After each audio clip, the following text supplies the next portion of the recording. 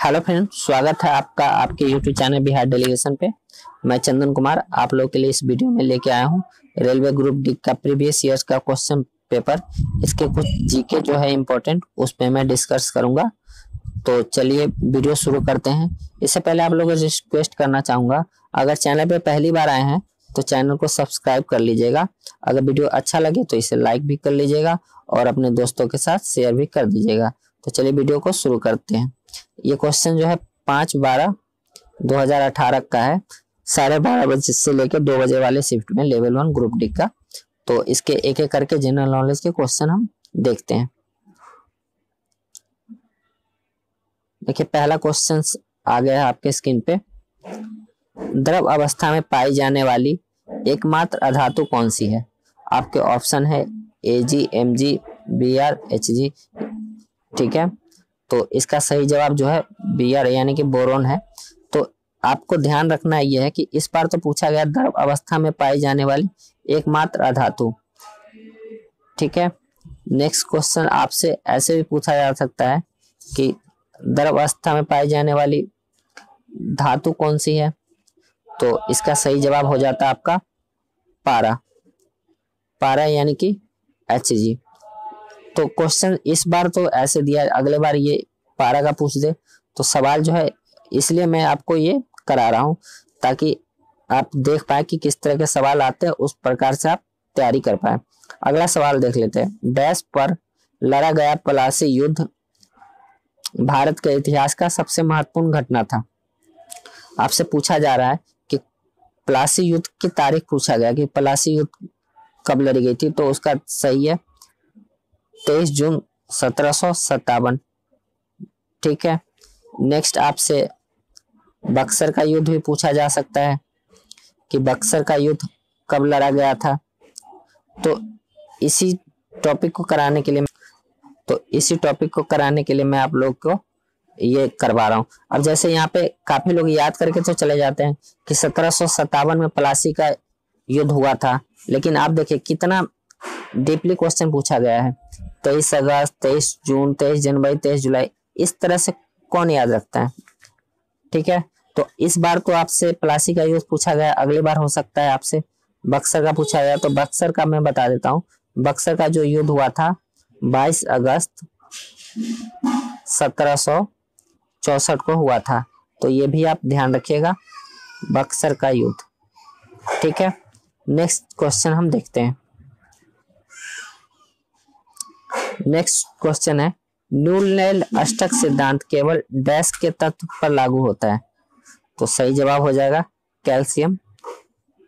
तो इस तरह से और भी जो आपके सिद्धांत दिए गए हैं, जैसे फ्लेमिंग का हस्त नियम वगैरह है, ये सब भी आप देख लीजिएगा, क्योंकि क्वेश्चन जो है, इस बार रेलवे ग्रुप डी में काफ़ी ज़्यादा डीप में पूछा गया है। नेक्स्ट क्वेश्चन देख लेते हैं। प्रतिरोधात्मक के कर्म को क्या कहते हैं? यानी कि प्रतिरोधक जो होता है, प्रतिरोधक यानी कि रेसिस्टेंस होता है, उसके अपोजिट क्या कहेंगे जैसे कि प्रतिरोध का अपोजिट क्या हो जाता है? चालकता हो जाएगा। अपोजिट बताना था। बहुत आसान क्वेश्चन तो नहीं कह सकते, लेकिन इसमें माइंड लगाना था। नेक्स्ट क्वेश्चन देख लेते हैं।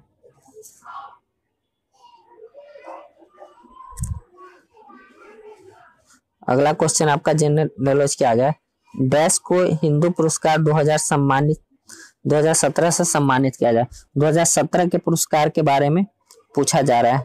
सही जवाब इसका था दीपक उनी कृष्णन ये तो पूछ दिया, लेकिन आपको देखना है 2018 के भी पुरस्कार देख के जाना है कि 2018 या 2019 में जो आपका मई या जून तक कौन कौन सा अवार्ड किसे मिला था। जैसे कि अभी श्री अमिताभ बच्चन को दादा साहब फाल्के अवार्ड मिलने जा रहा है, ठीक है?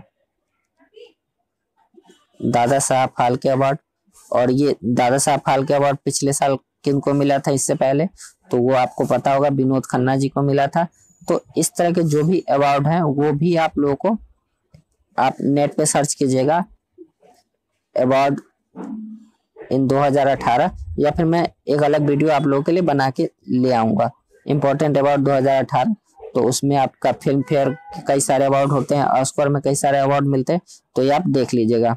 तो नेक्स्ट क्वेश्चन देखते हैं।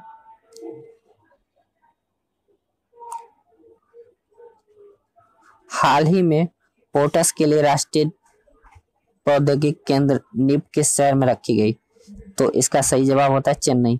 ये इम्पोर्टेंट जो साइंस की जो इम्पोर्टेंट घटना होती है, उससे रिलेटेड होती है। जैसे कि अभी चंद्रयान मिशन था तो वो कहाँ से की गई?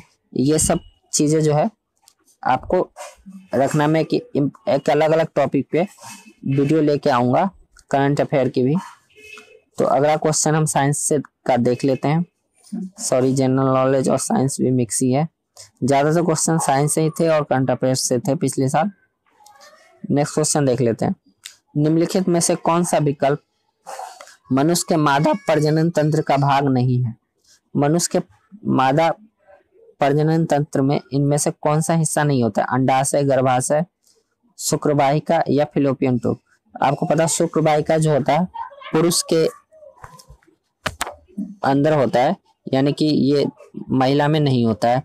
तो ये भी क्वेश्चन ऑप्शन अगर चारों ऑप्शन पे हम गौर करते तो बन जाता नेक्स्ट क्वेश्चन देख लेते हैं। डैश तत्व के लिए प्रतीकों का बहुत विशिष्ट तरीके से उपयोग करने वाला वैज्ञानिक। कौन से वैज्ञानिक थे जिन्होंने तत्वों का जो प्रतीक था, उस तत्वों का लिए सिंबल बनाया था? तो इसका सही जवाब हो जाता है डाल्टन नेक्स्ट क्वेश्चन देखते हैं। निम्नलिखित में से कौन सा राज्य पाकिस्तान के साथ अपनी सीमा साझा नहीं करती है? तो इसका सही जवाब हो जाता आपका हरियाणा।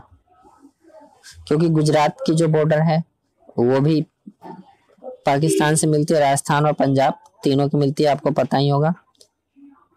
नेक्स्ट क्वेश्चन आपको बता देते हैं।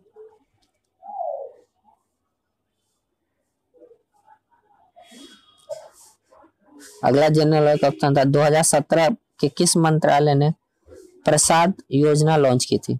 प्रसाद योजना जो थी आपका टूरिज़्म डिपार्टमेंट, यानी कि यात्रा मंत्रालय ने की थी। तो आपको 2018 के जो सरकार की जो महत्वाकांक्षी योजना थी, उस पर भी उसको देख लेना चाहिए। जैसे कि आपका प्रधानमंत्री पेंशन योजना भी आई है नई, जीवन सुरक्षा करके। उसके बाद कई सारी योजनाएँ हैं, उस सबका आपको एक लिस्ट तैयार कर लेनी चाहिए। और नेक्स्ट क्वेश्चन देख लेते हैं। किताब उल हंद, एक किताब है जो भारत के इतिहास में उल्लेखित है। किसके द्वारा ली गई? ये हिस्ट्री का क्वेश्चन है। अलबरूनी काफ़ी आसान क्वेश्चन था ये। नेक्स्ट क्वेश्चन देख लेते हैं।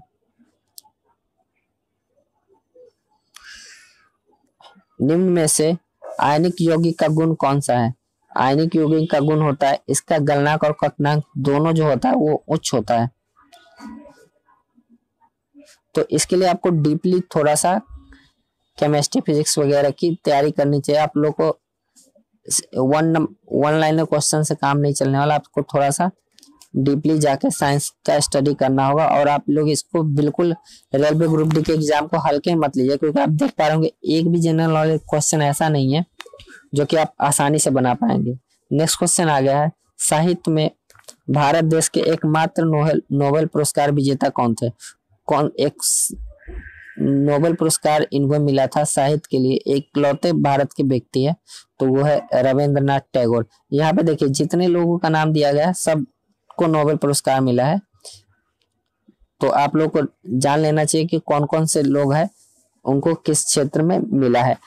अमृत सेन को इकोनॉमिक्स के लिए मिला था। सीबी रमन को फिजिक्स में मिला था। ठीक है रवन थ्योरी दिया था इन्होंने। और कैलाश शास्त्री को समाज सेवा के लिए मिला था।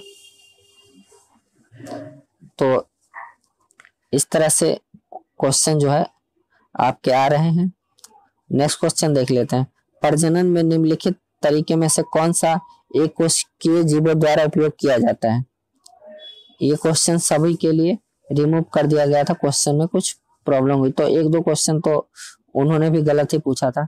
भारत का कौन सा राज्य गेहूँ उत्पादन में अग्रणी है? तो सही जवाब हो जाता उत्तर प्रदेश।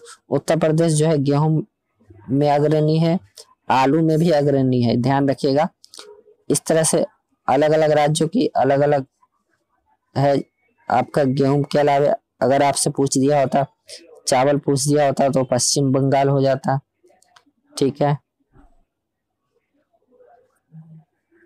ये आप लिस्ट देख लीजिएगा कि गन्ना गन्ना के उत्पादन में भी उत्तर प्रदेश है, मक्का का सॉरी गन्ना में महाराष्ट्र है, मक्का का आपका बिहार है।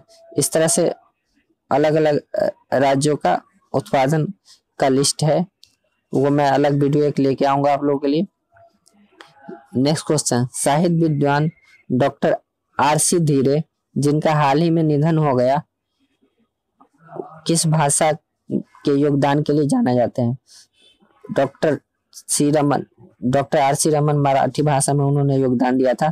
तो आप ये भी देख लीजिए कौन से फ़ेमस सेलिब्रिटी जिनका की निधन हो जाता है, उनसे रिलेटेड भी क्वेश्चन आते हैं। तो अगला क्वेश्चन हम देख लेते हैं जनरल नॉलेज का। किस वस्तु की प्रति इकाई समय में वेग प्रवृत्ति का मापक है। तो ये होता है त्वरण। कि त्वरण का फॉर्मूला ही होता है कि प्रति सेकेंड जो वेग में दर होता है, उसको हम त्वरण कहते हैं। नेक्स्ट क्वेश्चन देख लेते हैं। यदि किसी वस्तु का भार अंठानवे न्यूटन है, पृथ्वी का द्रव्यमान 9.8 है पृथ्वी यदि वस्तु का भार 9.8 है तो पृथ्वी पर इसका द्रव्यमान क्या होगा? तो ये क्वेश्चन आपका फिजिक्स का साइंस का था।